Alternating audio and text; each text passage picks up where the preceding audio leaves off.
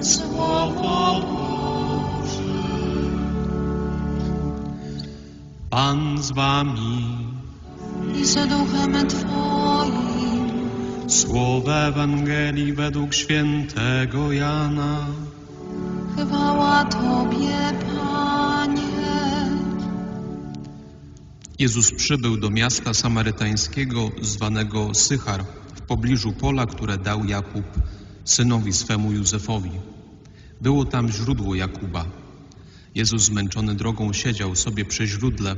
Było to około godziny szóstej. Wówczas nadeszła kobieta z Samarii, aby zaczerpnąć wody. Jezus rzekł do niej: Daj mi pić. Jego uczniowie bowiem udali się przedtem do miasta, by zakupić żywności. Na to rzekła do niego Samarytanka: Jakżeż ty, będąc Żydem, prosisz mnie, Samarytankę, bym ci dała się napić? Żydzi bowiem i Samarytanie unikają się nawzajem.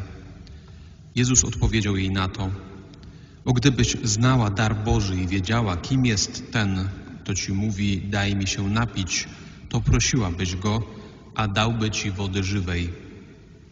Powiedziała do niego kobieta: Panie, nie masz czerpaka, a studnia jest głęboka. Skądże więc weźmiesz wody żywej? Czy ty jesteś większy od ojca naszego Jakuba, który dał nam tę studnię i on sam z niej pił, i jego synowie, i jego bydło? W odpowiedzi na to rzekł do niej Jezus: Każdy, kto pije tę wodę, znów będzie pragnął. Kto zaś będzie pił wodę, którą ja mu dam, nie będzie pragnął na wieki, lecz woda, którą ja mu dam, stanie się w nim źródłem tryskającym ku życiu wiecznemu. Rzekła do niego kobieta: Panie, daj mi tej wody, abym już nie pragnęła i nie przychodziła tu czerpać. Widzę, że jesteś prorokiem. Ojcowie nasi oddawali cześć Bogu na tej górze, a wy mówicie, że w Jerozolimie jest miejsce, gdzie należy czcić Boga. Odpowiedział jej Jezus: Wierz mi, kobieto, że nadchodzi godzina, kiedy ani na tej górze, ani w Jerozolimie nie będziecie czcili Ojca. Wy czcicie to, czego nie znacie, my czcimy to, co znamy, ponieważ zbawienie bierze początek od Żydów. Nadchodzi jednak godzina, nawet już jest, kiedy to prawdziwi czciciele będą oddawać cześć Ojcu w duchu i prawdzie, a takich to czcicieli szuka Ojciec. Bóg jest duchem. Trzeba więc, by czciciele Jego oddawali Mu cześć w duchu i prawdzie. Rzekła do niego kobieta: Wiem, że przyjdzie Mesjasz zwany Chrystusem, a kiedy On przyjdzie, objawi nam wszystko. Powiedział do niej Jezus: Jestem nim ja, który z Tobą mówię. Wielu Samarytan z owego miasta zaczęło w niego wierzyć dzięki słowu kobiety. Kiedy więc Samarytanie przybyli do niego, prosili go, aby u nich został. Pozostał tam zatem dwa dni i o wiele więcej ich uwierzyło dzięki jego słowu, a do tej kobiety mówili: Wierzymy już nie dzięki Twemu opowiadaniu, usłyszeliśmy bowiem na własne uszy i wiemy, że On prawdziwie jest Zbawicielem świata. Oto słowo Pańskie.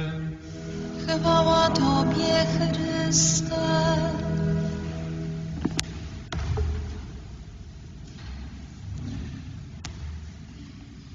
Słyszeliśmy fragment Ewangelii Jana opisujący spotkanie Jezusa z Samarytanką. Czytam krótszy fragment, który i tak był dosyć długi. Ta scena jest bardzo rozbudowana i bardzo bogata w znaczenia. Myślę, że jest bardzo cennym też takim, e, takim zapisem właśnie spotkania człowieka, kobiety, e, właśnie Samarytanki z Chrystusem, pewnej metafory też spotkania nas, każdego z nas właśnie z Bogiem. Możemy to odnieść e, do tego punktu, w jakim jesteśmy, czy to właśnie w swoim życiu, do swojej też e, codziennej modlitwy i też, jeżeli trwamy w tych rekolekcjach w życiu codziennym, odprawiamy codzienne medytacje, to możemy też spojrzeć właśnie na to spotkanie e, właśnie w takiej dynamice, jako na takie spotkanie moje z Chrystusem, E, I to spotkanie z Samarytanką jest właśnie trochę takim lustrem, w którym mogę też się przejrzeć, jak ja się z nim spotykam. E, więc próbując odnieść to właśnie spotkanie e, tej kobiety z Jezusem do mnie osobiście, to najpierw należy spojrzeć i zauważyć, że to spotkanie jest i to zauważa i podkreśla ewangelista, e, po ludzku w jakiś sposób niemożliwe do zaistnienia, czy bardzo trudne do zaistnienia. Jest wiele przeszkód, które właśnie stoją między tą kobietą a Jezusem. Przeszkód kulturowych, zwyczajowych, e, zarówno też przeszkód samej, po stronie samej tej kobiety, jak zauważył ewangelista wyraźnie, ona jest Samarytanką, Chrystus jest Żydem. E, ci, te właśnie mm, przedstawiciele tych dwóch grup się unikają, są między nimi takie zaszłości historyczne wynikające z przeszłości. E, Samarytanie są uważani za tych, którzy są zmieszani z poganami. E, ten lud samarytański jest, został częściowo zmieszane z imigrantami z Mezopotamii. To sprawiło, że też e, w ich wiarę zostały włączone kulty innych bogów, więc właśnie są uważani za niewiernych w jakiś sposób. E, I właśnie pobożny Żyd nie chciałby rozmawiać z Samarytaninem. Druga rzecz to oczywiście samo spotkanie właśnie kobiety z mężczyzną w takich okolicznościach. Kobieta w tamtych czasach, w tamtej kulturze y, by podróżowała, czy przychodziłaby do tej studni z mężem, ewentualnie z bratem, natomiast nie samotnie. I wreszcie y, też zauważenie pory dnia. Dzieje się to y, w południe, w najgorętszej porze dnia, kiedy też nikt normalnie nie przychodził po wodę do studni, było po prostu za gorąco.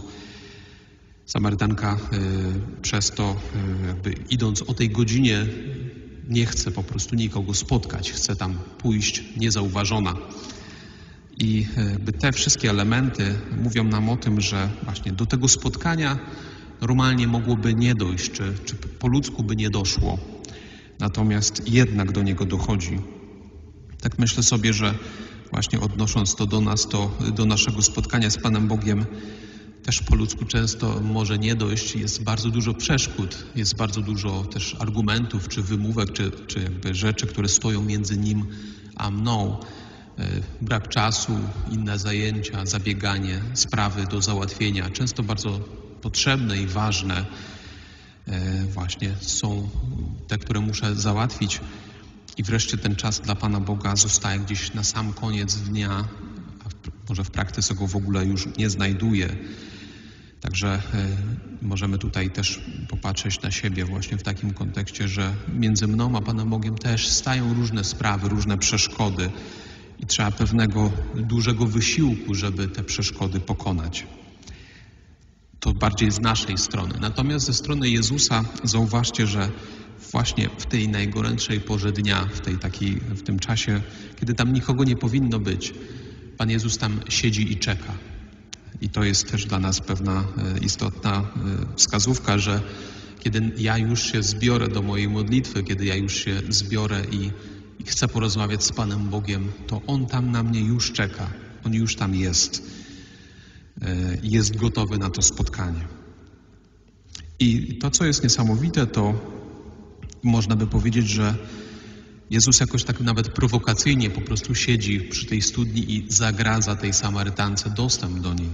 Ona chce, e, tak jak to robi zwykle, po prostu przyjść się zaczerpnąć wody, a Jezus tam jest i w jakiś sposób właśnie jej na to nie pozwala. Może w jakiś sposób burzy jej rutynę, jej sposób postępowania, jakiś schemat e, jej dotychczasowego działania. I czasami pewnie też tak jest w naszym życiu e, duchowym, czy w naszym życiu w ogóle, że dzieje się coś takiego, co burzy jakoś nasz dotychczasowy schemat. I e, Pan Bóg jest e, właśnie trochę czymś takim, czy kimś takim, kto właśnie jakoś nas może kwestionuje, coś, coś zmienia. I stajemy wobec takiej sytuacji, że no właśnie, chcemy coś zrobić tak jak dotychczas, ale już nie mogę tego zrobić I właśnie stajemy wobec Boga wtedy, właśnie w tej nowej sytuacji. I ta nowa sytuacja, e, moglibyśmy, ta Samarytanka mogłaby się zbuntować, obrazić, e, że właśnie ktoś stoi przy studni, jej przeszkadza i odejść, ale jednak wchodzi w tą sytuację, wchodzi w tą scenę i rozmawia z Jezusem. I my także jesteśmy do tego zaproszeni, żeby w takiej sytuacji, czasami może trudnej, może w jakimś wyzwaniu, może właśnie czymś, co, co mnie spotkało niespodziewanie, e, jakby zaryzykować i wejść w tą, w tą sytuację. I może tam spotka mnie coś e, niezwykłego, może e, właśnie tam nastąpi zaspokojenie tych moich pragnień, z którymi przychodzę ale nie w taki sposób, jaki dotychczas to robiłem, w jakiś inny, może nieznany mi sposób.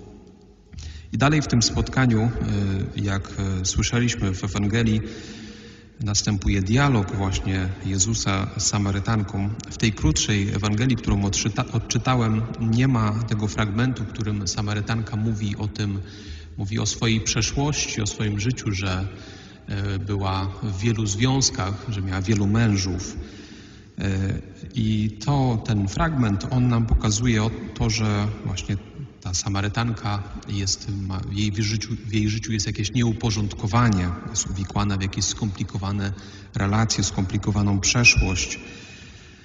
E, I to jest właśnie jakaś prawda o niej. I ona jakby tą prawdę sama gdzieś odkrywa, mówi o niej, e, konfrontuje ją właśnie z Jezusem. Myślę, że modlitwa, nasze też codzienne spotkanie z Bogiem jest też właśnie przestrzenią na to, że ja spotykam się z Bogiem, ale też spotykam się właśnie z prawdą o sobie, ze sobą samym. E, I ta, e, ta konfrontacja z prawdą jest o tyle ważna, e, nie po to, żeby się oskarżyć, żeby siebie jakoś wpaść w poczucie winy, ocenić, osądzić, ale właśnie, żeby żeby zobaczyć, gdzie jestem, jaki jest punkt mojego życia i dzięki temu pójść naprzód albo wrócić do czegoś, co, co jest ważniejsze, cenniejsze, głębsze w moim życiu. E, I tak się dzieje w życiu tej Samarytanki. E, I ta prawda o sobie jest jakimś punktem wyjścia. A jednocześnie Samarytanka w, w, w czasie tego dialogu z Jezusem zauważa, że on jest prorokiem. E, jakby odkrywa prawdę o nim, prawdę właśnie kim jest ten mężczyzna, który siedzi przy studni, że to nie jest zwykły właśnie jakiś e, zwykły Żyd, nie jest to nawet pobożny po prostu jakiś człowiek, ale to jest ktoś jeszcze większy, ktoś jeszcze bardziej wyjątkowy, ktoś, kto też ją samą zna i jej jednocześnie nie odrzuca, nie krytykuje, nie osądza, ale dalej z nią prowadzi dialog i proponuje jej coś niesamowitego. Mówi o wodzie, która zaspokoi jej pragnienie, tak że już nie będzie musiała tutaj więcej przychodzić. Obiecuje jej coś niesamowitego. Czyli e, człowiek, który chce jej dobra, który od niej nic samej tak naprawdę nic nie chce, poza tym, żeby ona sama stanęła w prawdzie o sobie i odkryła prawdę o nim i uwierzyła w niego. E, I, i to, to spotkanie jest niezwykłe. I e, w dalszym, w dalszych, e,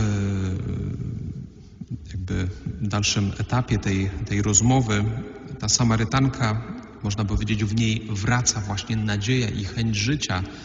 Ona potem e, odchodzi od tej studni i dzieli się tym swoim doświadczeniem z innymi ludźmi. Wielu właśnie dzięki temu, dzięki jej, jej świadectwu wierzy w Jezusa. I można by powiedzieć, że właśnie z takiej kobiety, która chce y, omijać innych, która idzie sama y, właśnie do tej studni, nie chce z nikim rozmawiać, jest jakoś pogrążona w jakimś smutku, y, być może w jakimś skrapieniu, ona wraca pełna entuzjazmu do ludzi i, i dzieli się niesamowitym doświadczeniem spotkania kogoś wyjątkowego. I myślę, że właśnie to jest piękny owoc też życia duchowego i modlitwy, kiedy tak się dzieje w nas, kiedy jesteśmy może czymś przybici, coś ciężkiego stało się w naszym życiu, albo, albo po prostu jakoś nie wiemy, co robić, jest nam jakoś trudno. I po tym spotkaniu właśnie po kilku minutach, kilkudziesięciu minutach modlitwy, spotkania właśnie z żywym Bogiem wraca w nas, e, wraca w nas życie. E, Znowu jak, e, jakby jest, e, jest chęć do życia, jest jakieś światło, jest nadzieja, jest miłość w nas. Jakby st- stosując ten obraz studni i wody, już przestajemy być taką suchą pustynią, pustkowiem, ale właśnie jest życie, jest roślinność, jest woda w naszym życiu. I wracając do, do tego, co mówiłem na początku, żeby to spotkanie mogło zaistnieć, żeby do niego doszło, żeby właśnie ta cała przemiana miała miejsce, potrzeba pewnego trudu, właśnie stanięcia y, z Chrystusem, wobec Chrystusa, przyjścia do Niego. Trzeba stracić ten czas i być z Nim, zaryzykować i wejść w dialog z Nim, ze sobą.